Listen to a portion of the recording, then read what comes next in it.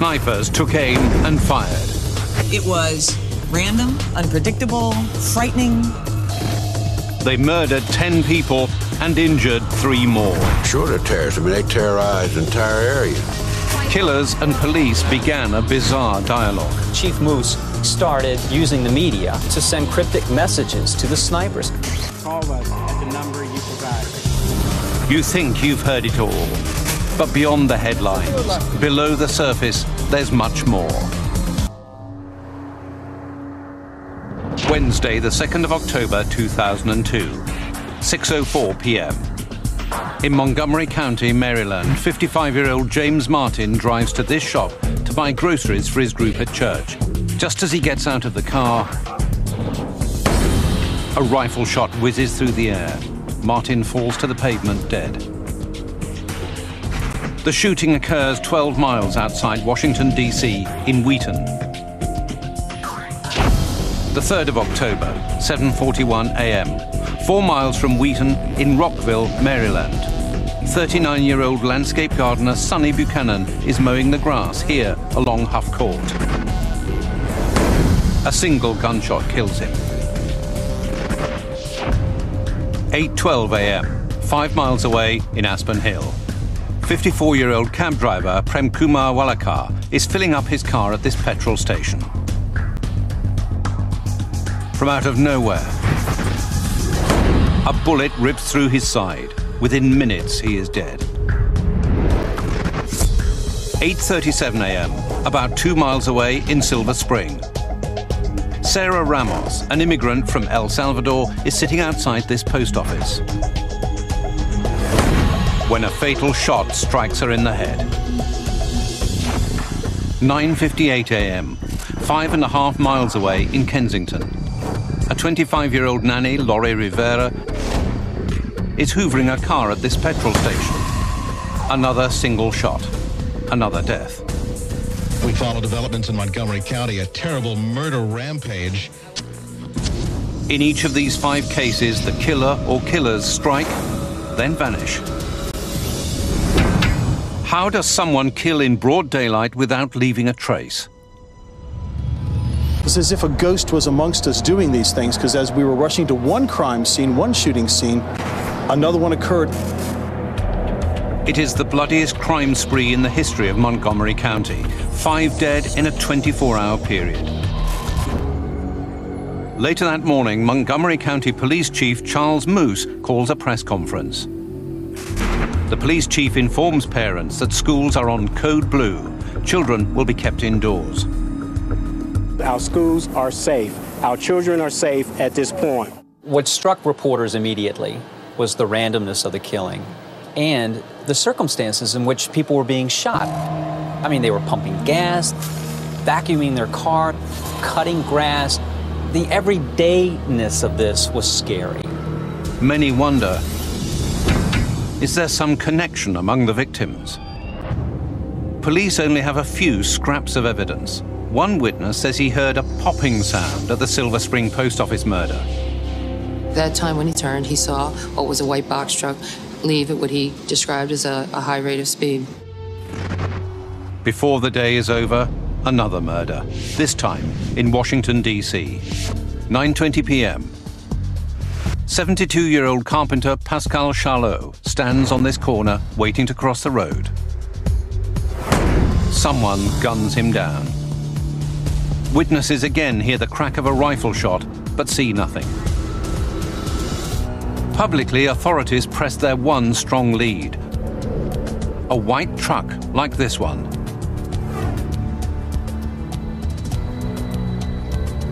But after the Washington, D.C. shooting, witnesses tell police they saw a different type of car.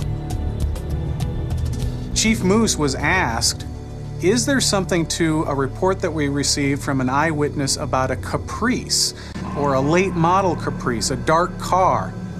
The police sort of knocked it down. Uh, As a result, news reports barely mention the Caprice. Need information on the white Police are again looking for a white vehicle. van hunt, van hunt, if you will. In the hunt for a white box truck, do the authorities ignore other valuable clues? By now, the spate of attacks has left six dead in less than two days. Police have studied bullet evidence from all six. They conclude that the bullets came from a single weapon, a 223 caliber rifle like this one. It's capable of killing from several hundred yards. On the afternoon of the 4th of October, the killer or killers strike again. 2:30 p.m. In Fredericksburg, Virginia, 43-year-old mother of two, Caroline Seawell, is loading packages into a car outside this craft shop. She is shot and wounded. By now, hundreds of journalists are covering the unfolding tragedy. Parents demand to know what will be done to protect their children. School officials tighten security and cancel all outdoor activities. The weekend passes without incident. But when lessons resume, so does the shooting. Monday, the 7th of October, 8.09 a.m. In Bowie, Maryland, 13-year-old Iran Brown arrives here at the Benjamin Tasker Middle School. As he walks towards the building, a bullet strikes him in the abdomen, critically wounding him. The shooting of a school child seems like a direct response to Chief Moose's earlier assurances that children would be safe. Stepping over the line, shooting a kid. I guess it's getting to be really, really personal now. Boy is his victim. It is a chilling case. The timing of the attack raises a new question. Is the sniper watching and responding to media reports? With the story gaining worldwide attention, journalists now launch their own investigations. The media started talking to the witnesses. They started pushing and they started to get leaks. Sources tell the media that the sniper has communicated with police.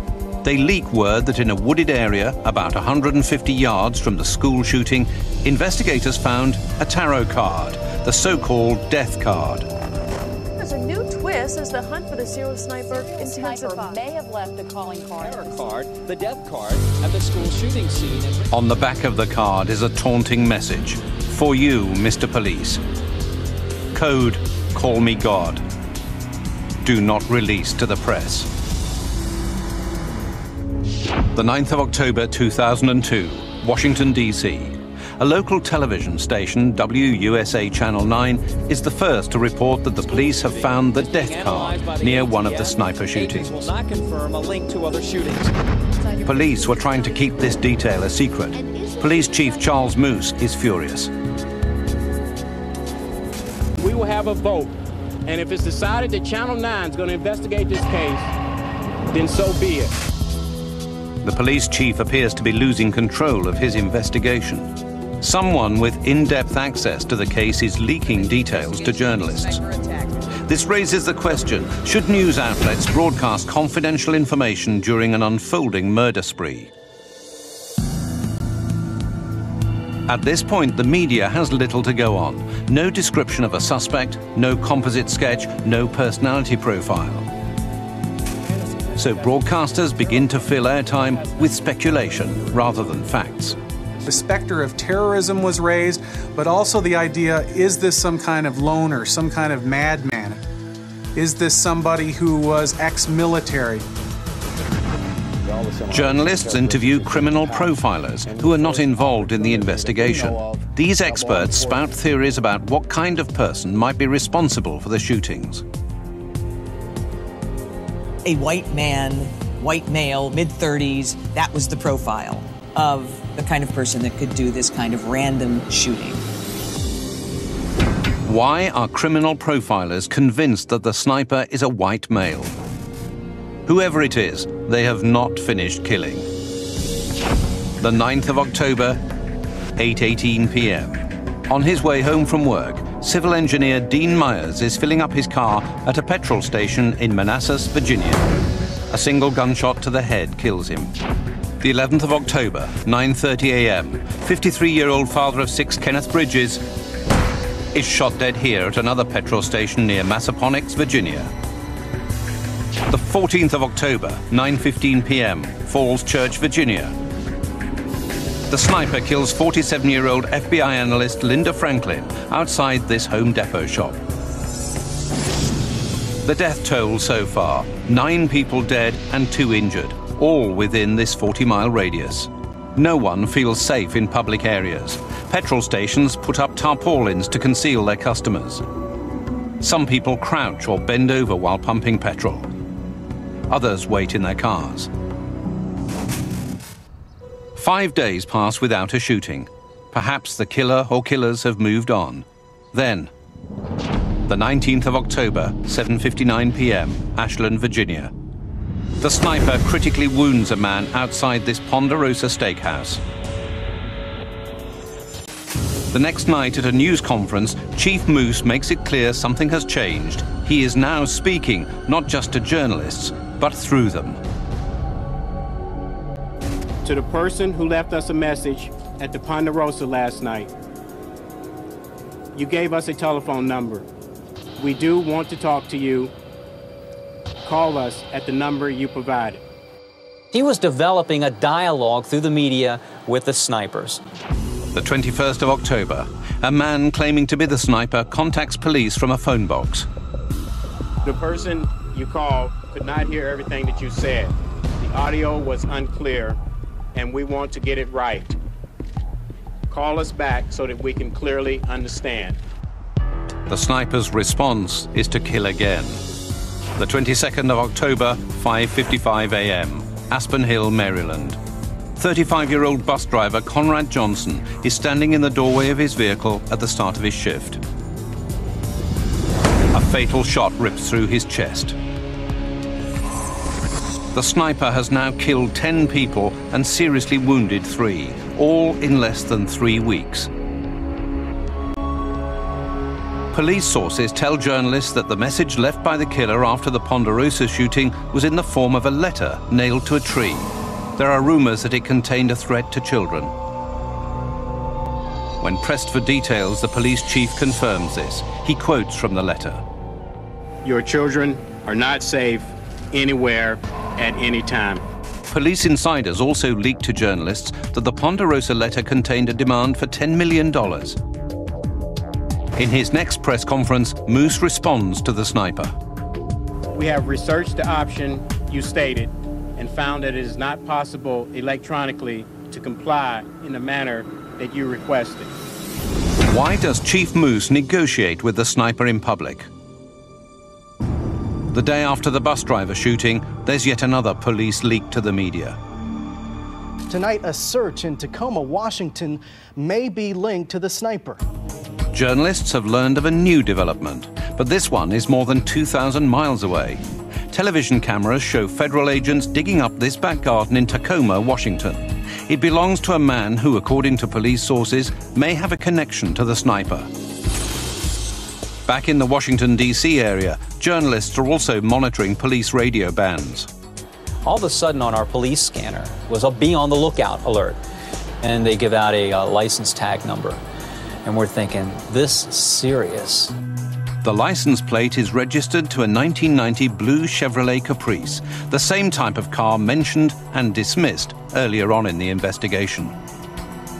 The alert also includes the names of two men John Allen Williams, also known as John Muhammad, and Lee Malvo. Sources are giving us the uh, name of the car that they are looking for in connection with these two people. It's a 1990 Chevy Caprice, blue and burgundy, they say, with New Jersey license tags NDA21Z. That is the license. The broadcast could help catch the snipers, or it could alert the fugitives to the fact that the hunt is on. Was it reckless to report this information without police approval? 11:50 p.m. Chief Moose releases a photograph of 41-year-old John Muhammad. Authorities are seeking him on a federal firearms charge. They believe he is traveling with a minor. The 24th of October, 12:45 a.m. Fridge repairman Whitney Donahue is driving home along a road called the I-70 near Frederick, Maryland, about 45 miles northwest of Washington, D.C. The authorities are looking nationwide for two individuals. One young man. He hears a news report describing the killer's vehicle, a caprice like the one he himself owns. He makes a mental note to keep an eye out for it. Donahue is tired and decides to take a break. He pulls into this lay-by. Then he sees it. A Chevy Caprice, a dark color with New Jersey license plates. Donahue slowly backs into a parking space and uses his mobile phone to call the police. A SWAT team made up of county, state and federal officers assembles and plans the arrest. 3:15 a.m. They storm the car, kick in the windows and drag two men from the vehicle. It appears the hunt for the DC sniper is over.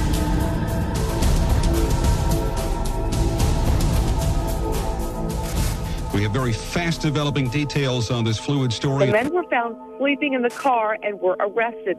Police identify the men as 41 year old John Allen Muhammad and 17 year old Lee Boyd Malvo. Police who have spent three weeks in terror want to know who are Muhammad and Malvo. Friends say the two suspects in the sniper shootings had a father son relationship but weren't even related. Here's a look at the connection between And perhaps John the Muhammad biggest question of all why did they kill? Coming next on the final report. The 24th of October 2002. Federal authorities arrest two suspects in the DC sniper case 41 year old John Muhammad and 17 year old Lee Malvo. The focus today is really on who's going to prosecute this case. The 25th of October. It's less than 24 hours since the arrests. Already, prosecutors in Montgomery County, Maryland, and several Virginia counties begin to vie over who will prosecute Muhammad and Malvo. The Montgomery County State's attorney came right out of the gate with charges. No one had more shootings and no one had a greater impact than the folks in Montgomery County. But the suspects were in federal custody at the time of their arrest. This means that the U.S. Attorney General, John Ashcroft, will decide. I consider the matters charged in the federal indictment today to Early in November 2002, Atrocities. he announces that the two men will be tried first in Virginia. The state of Virginia has a new anti-terrorism law. Drafted after 9-11, it makes it a capital crime to kill in the course of trying to intimidate the public or influence the government. The sniper cases land on the desks of Virginia prosecutors Paul Ebert and Robert Horan. With Muhammad and Malvo under arrest, the killing spree ends. But the story is not over. There are many questions that need to be answered, beginning with who are Muhammad and Malvo? The answers investigators discover is that they are two men who happen to share the same kinds of hatred. John Muhammad was born John Allen Williams in New Orleans on New Year's Eve in 1960. Married and divorced twice, he has four children. He serves nine years in the Army, rises to the rank of sergeant, and earns an expert marksman badge. During his time in the Army, he shows a reckless, violent streak. Saudi Arabia, 1990. Muhammad is stationed here during the Gulf War. He allegedly tosses an incendiary grenade into a tent filled with soldiers, setting it on fire. He was alleged to have been attempted to rescue them, and that that backfired on him. Uh, and as a result of that, he was disciplined. Williams later claims that while he was in the brig, his army guards physically and psychologically abused him. In 1994, he receives an honorable discharge from the army. His second wife, Mildred, later tells a journalist that her husband returned from the Persian Gulf a different person. He was angry and bitter. She said, I didn't know this man. He didn't want anyone to become close to him. Soon after, Williams and his wife joined the Nation of Islam. It's an American religious organization that combines elements of traditional Islamic doctrine with black nationalism. The group's leader, Minister Louis Farrakhan, is known for his extremist views, including anti-Semitic and anti-white rhetoric. By 1994, Williams, his wife and their three children are living in Tacoma, Washington. He sets up a garage, but the business goes bust.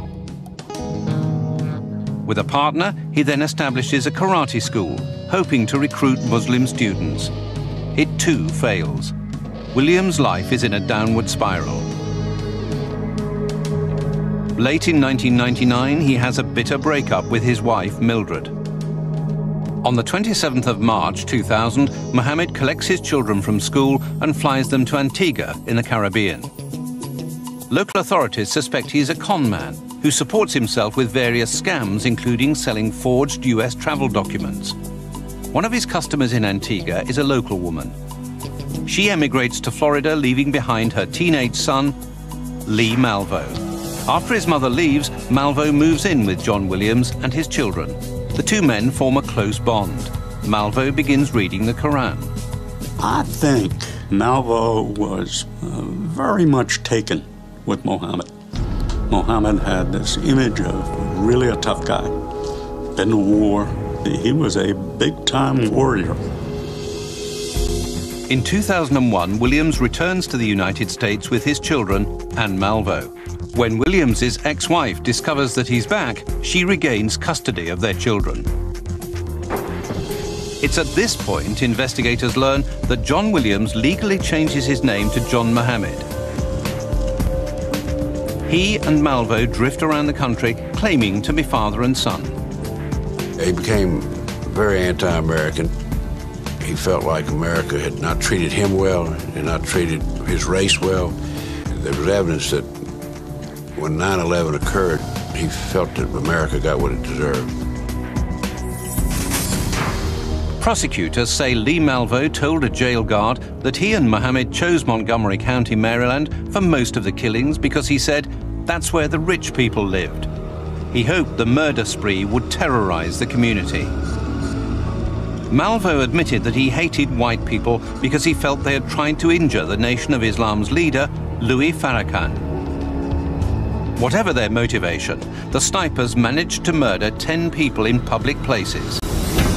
How could the two men kill in broad daylight without leaving a trace? Prosecutors believe careful organization and planning allowed Muhammad and Malvo to scout locations and stalk their prey. Our car had been altered to become really what we call a killing machine. Inside Muhammad's Chevy Caprice, police find this global positioning system used to plot their getaways. These local maps, which mark their targets, and this laptop for keeping track of the killings. The rear seat is loosened to provide access to the boot. There's a slot cut here, just above the license plate. It's big enough for the barrel of a rifle. Someone shooting can scramble from the back seat to the boot, mark his target through the slot, and fire without being seen. After his arrest, Malvo told his interrogators he would curl up like a spare tire after taking a shot. The aging car gave the men a platform from which to find their target, shoot, and escape without arousing suspicion. Malvo constantly talked about the necessity of a team. You work together. One man spots, the other man shoots. We felt that from the circumstantial evidence that Muhammad perhaps was the so-called captain of the killing team. The murders left many people in the region wondering if there was a pattern to the killings. Was there any connection among the victims? The answer is no.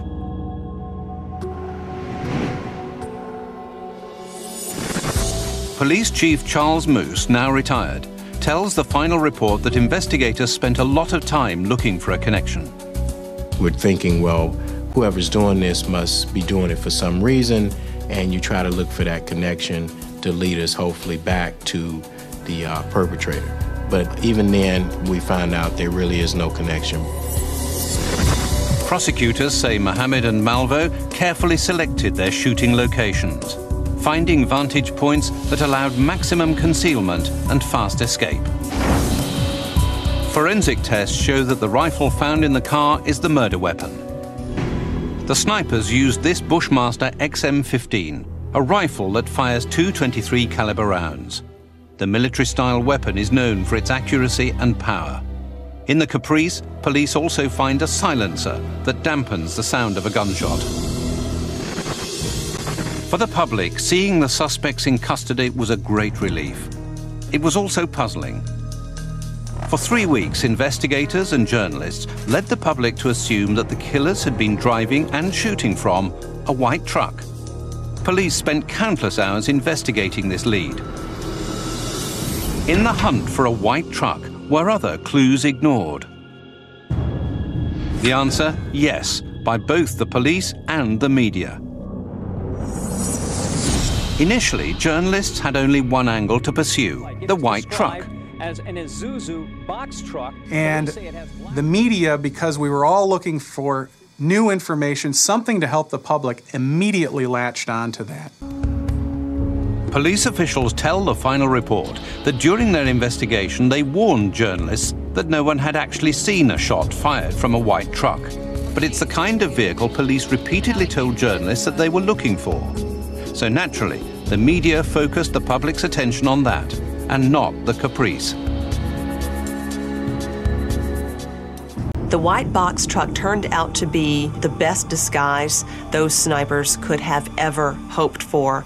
In fact, police encountered the suspects and their dark blue Chevy Caprice several times during the investigation. For example, after the school shooting, a Baltimore police officer came across John Muhammad sleeping in the Caprice. So he kind of knocked on the window and spoke to Muhammad, saw his identification, had no reason to arrest him, really just checked to see what are you doing. And he said he had been traveling or whatever and he was taking a rest. The officer found no evidence of a crime, nor did police in several other instances. The people that after the fact said, well, they were here on this day and you missed them, and they were here this day and you talked to them. You know, those are very painful things to have pointed out. The police involved followed all of the constitutional rights that those people deserve and sent them on their way. Throughout the three week investigation, criminal profilers on television repeatedly speculated about what type of person could commit such horrible crimes. They believed the killer was most likely to be a white man aged between 20 and 40. Why did the criminal profilers believe a white man was the sniper? The answer is simple statistics.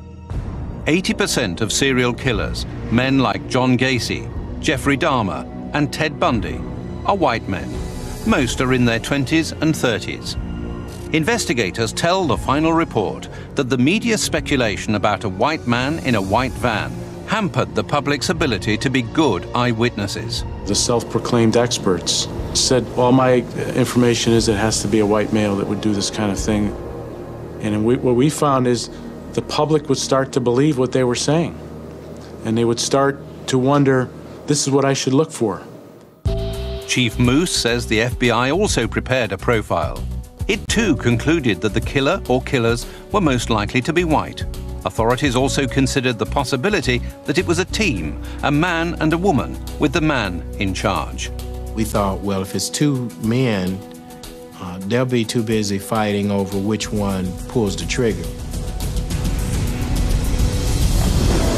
The authorities never had enough confidence in their portrait of the killer to release it to the public. For us to put a profile out in this case would have been irresponsible. We were not going to put any information out there that we couldn't back up. A Rambo wannabe, or even somebody. However, broadcasters are under no such restrictions. They do have some responsibility for how the public perceives it, how they react.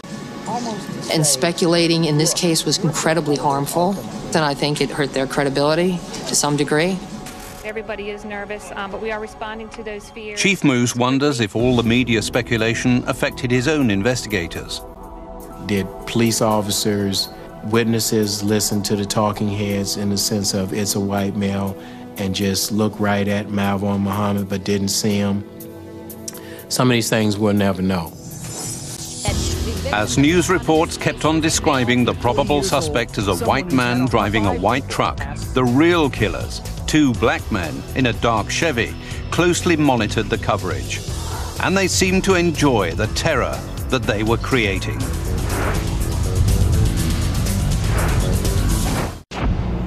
The 3rd of October 2002. Our schools are safe. Our children are safe at this point. Only four days after Chief Moose made his pronouncement, the DC snipers shot and critically wounded 13 year old Iran Brown outside a school in Maryland. At that time, many asked the question, were the snipers watching and responding to media reports about the case? The answer is yes. It's clear from the evidence they watched television. We have videos of him watching television in a restaurant, very interested in what was being said.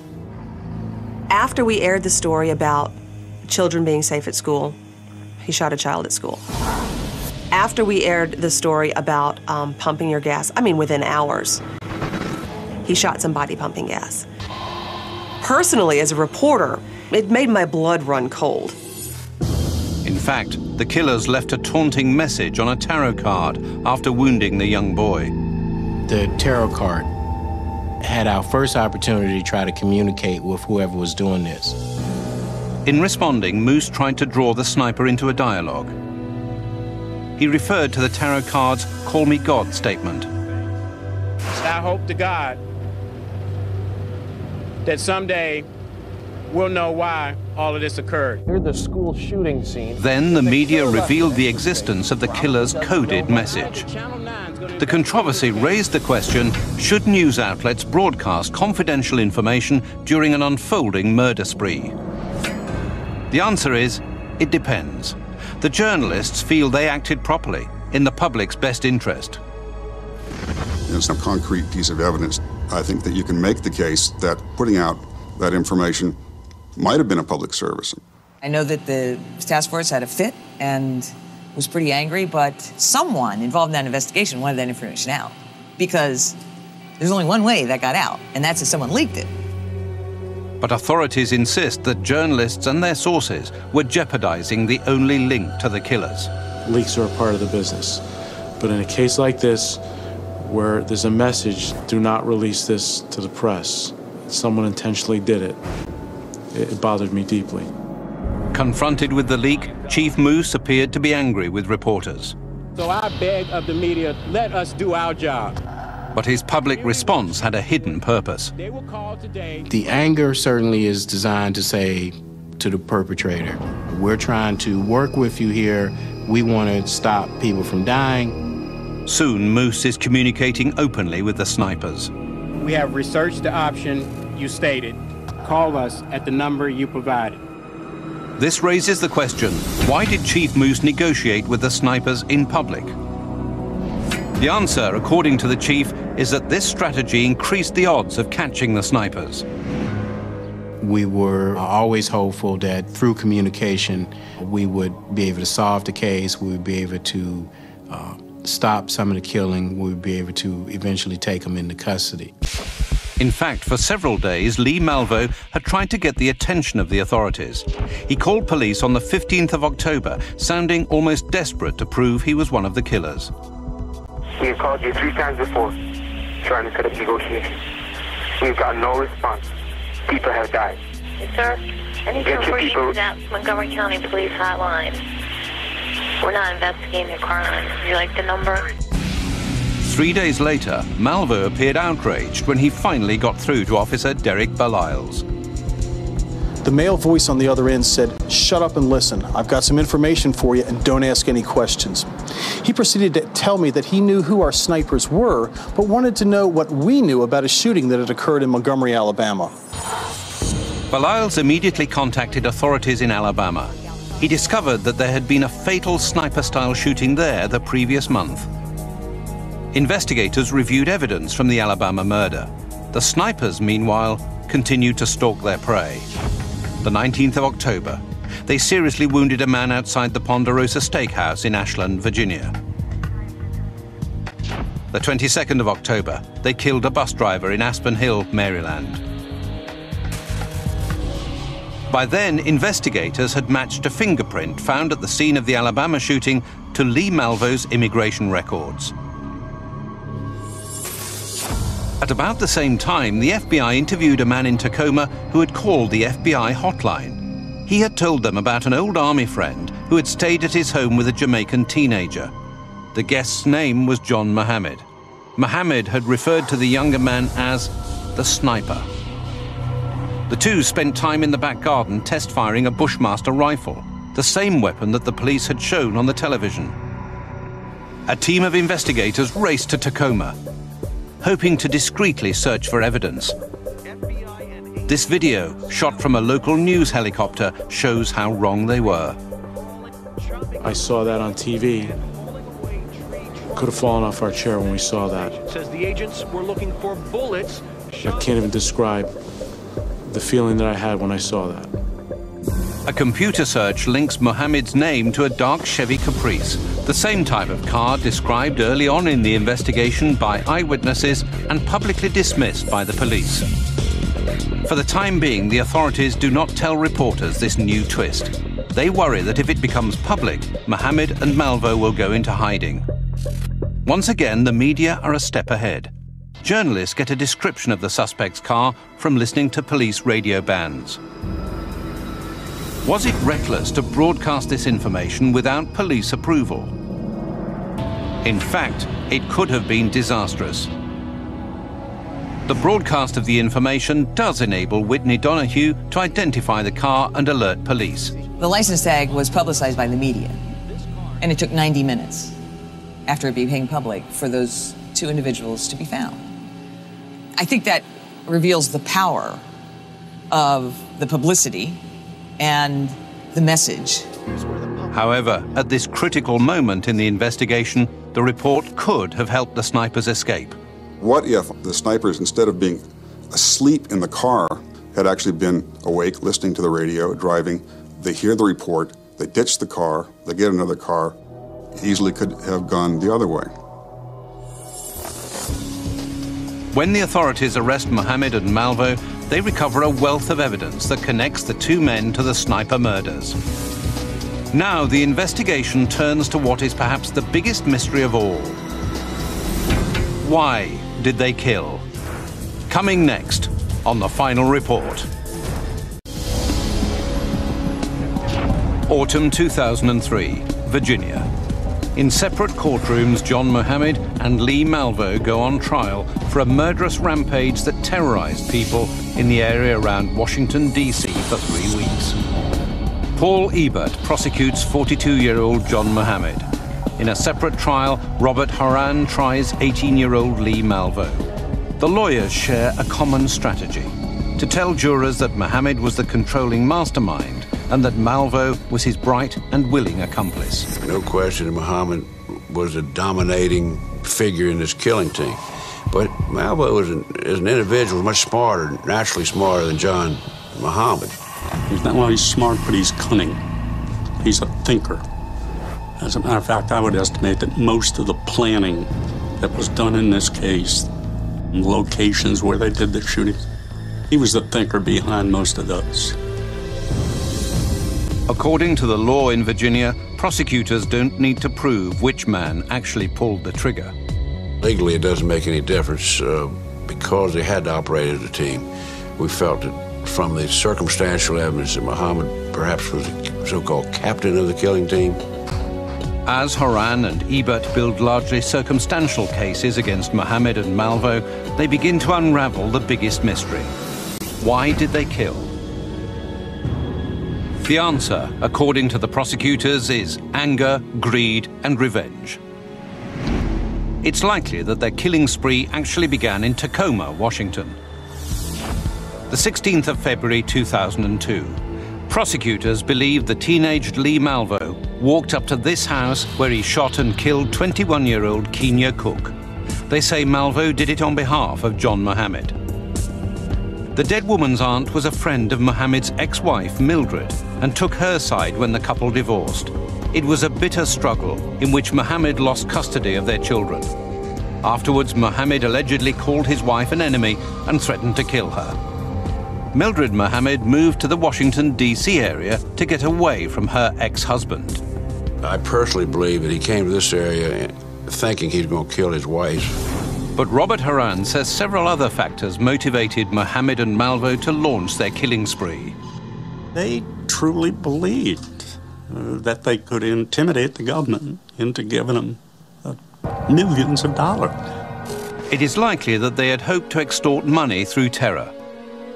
In his early conversations with police, Malvo also hinted at another motive the young man claimed that he hated white people whom he felt had threatened Nation of Islam leader Louis Farrakhan.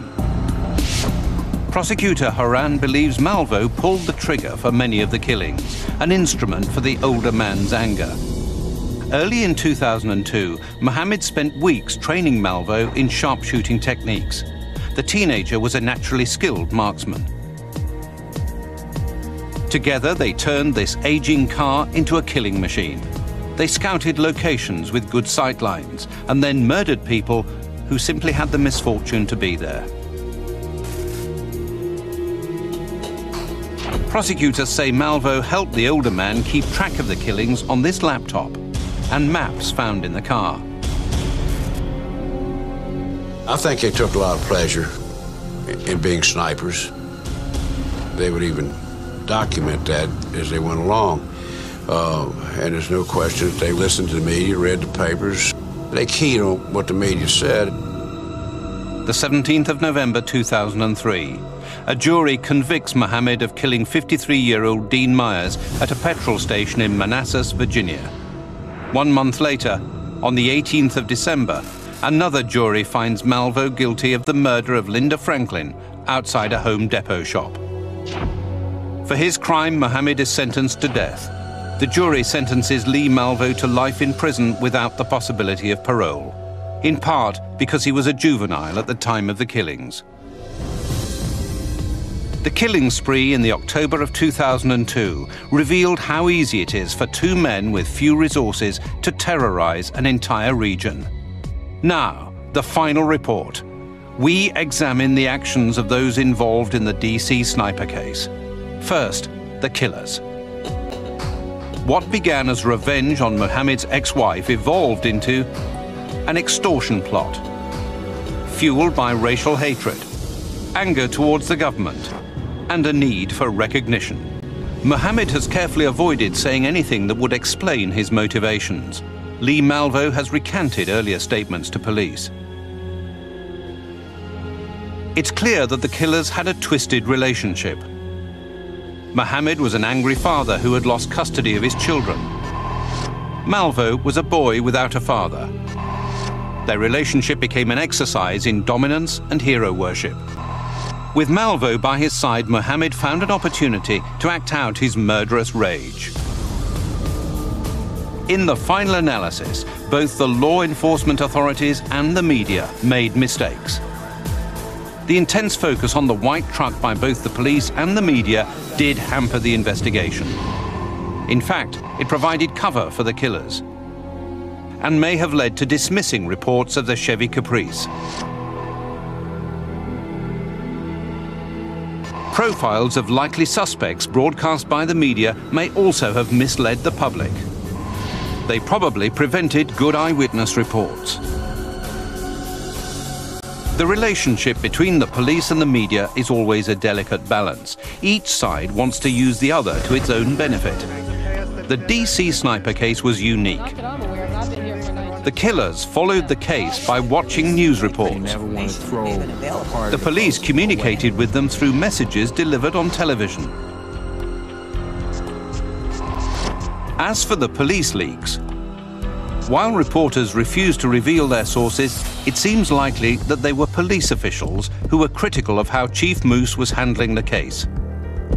In any event, journalists insist the leaks did nothing to hurt the investigation. They also point out that the broadcast of police information about the sniper's car led to their arrest. The DC snipers case tested the relationship between the police and the news media. This was a crime, the proportion of which no one had ever seen. It was random, it was unpredictable, it was frightening to an entire region. Two years after the sniper's rampage, this memorial was dedicated to the victims. It stands here in the rolling hills of Wheaton, Maryland, where the first murder occurred.